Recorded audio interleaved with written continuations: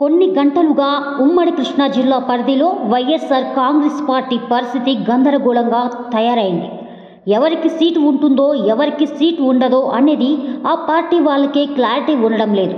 ఎందుకంటే హనుమంతరావు గారికి Gudivada MLA seat ఇస్తారని ఒక టాక్ ఉంది.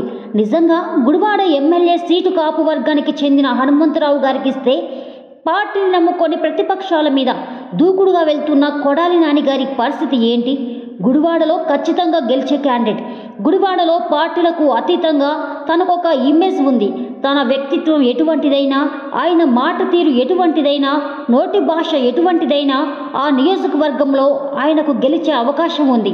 అటువంటి నానిని కాదు అని హనుమంతురావుని గుడివాడ తీసుకొచ్చే సాహసం వైసీపీ చేస్తే అక్కడ టీడీపీ నెత్తిన పాలు పోసినట్లే అని అది ఒక గందరగోళం.